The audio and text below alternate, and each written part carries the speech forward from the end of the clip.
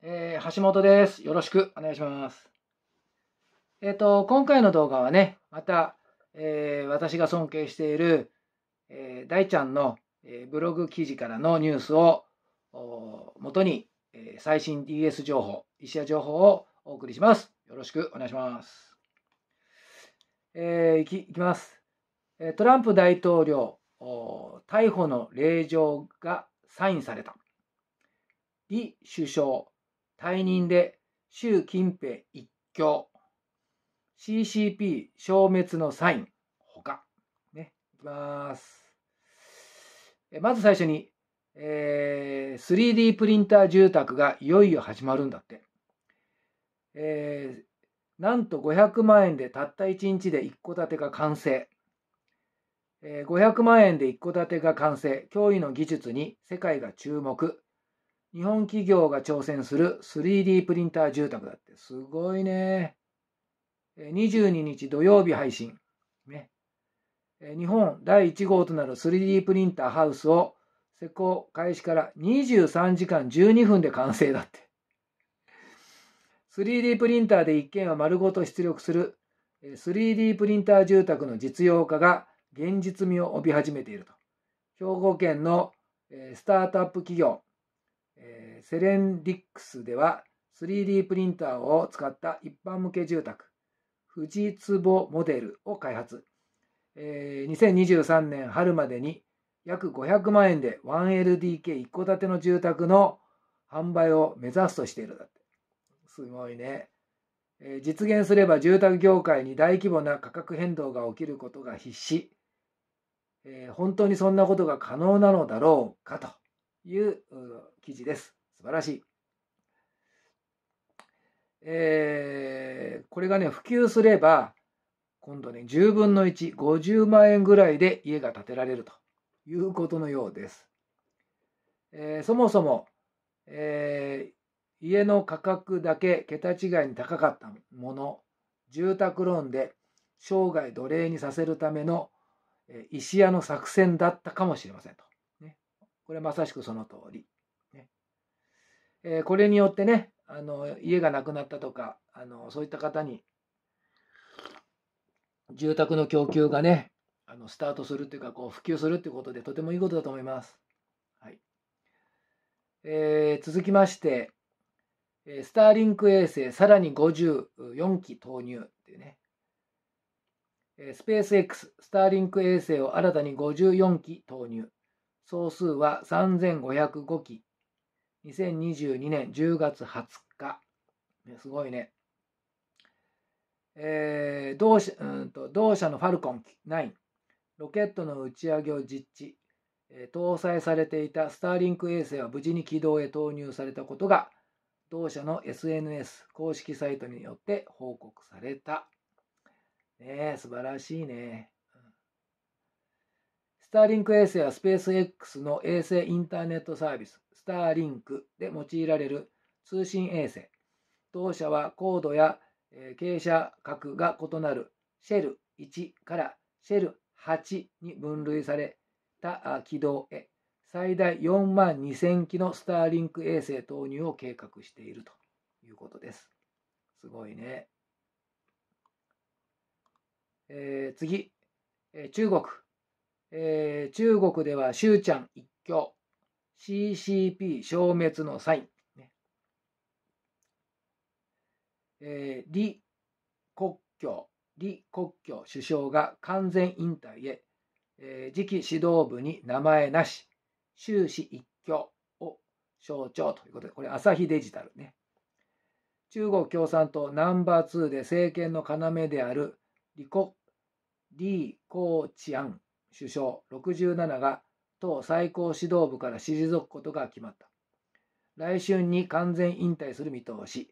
22日に閉幕した第20回党大会で新たに選出された中央委員に李氏の名前がなく、最高指導部に残る可能性がなくなったと。えー、習近平、えー、国家主席が3期目続投を確実にする中での李氏の退任は、え、市一強時代を象徴する人事。ね、いいね。すごい。じゃあ次。えー、ついにトランプ大統領、逮捕の令状にサインされた。うん、トランプ大統領に招集、招集状が出されていよいよ逮捕かというところまで来ましたが、なんと逮捕の令状書類にサインしたみたいと。うん、シナリオ通り、ファン・オー、え、サビン氏のマネージャーのフォレイ氏がトランプ逮捕の令状書類にサインされたと語った模様。これは今後7日以内に起こると予想されると。え、ついに来月の中間選挙までに逮捕劇とか起訴。来月の中間選挙11月8日、あと2週間ちょい。中間選挙そのものが中止になるという噂もあるが、もしかしたら予想の右斜め上のものが来る可能性だってある。トランプ大統領は逮捕と言いながら、トランプ、えー、フォース1、トランプフォース1がリニューアルして帰しましたからね、だって。うん、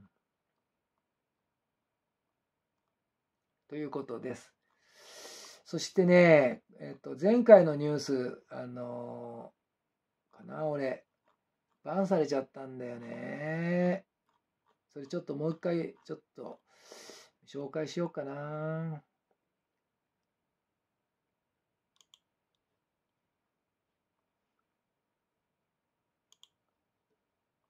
前回のね、バンされちゃったんですよ、私。うんお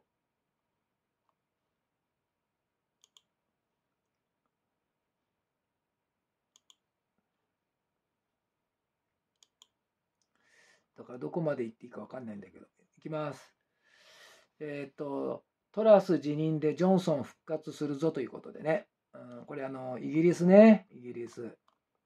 うん、もう皆さんご存知だと思うけど。で、あのー、えー、わ、くちゃん。ね。あのー、これの件について、あの、テレビで報道されたっていうことをね、喋ったんだよね。もうちょっと細かく。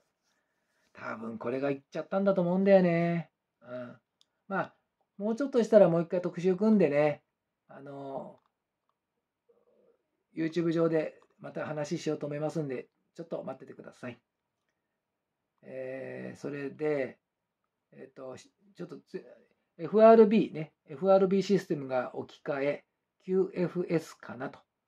FRB は銀行出願制度10月後半に新しくアップグレードされたシステムに置き換えると発表していましたと。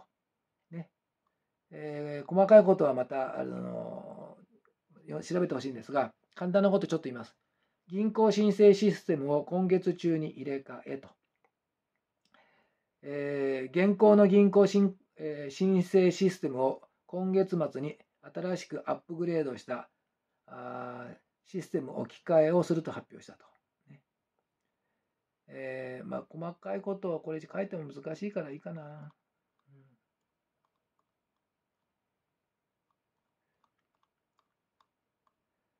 えー、あと、中本こ、こっちかな？これで番かな？あのドリフ、ドリフの中本浩二さんのあの死亡のニュース、これについて、僕あの話したんだ前回。そうそうそう。これでねクライシスアクターの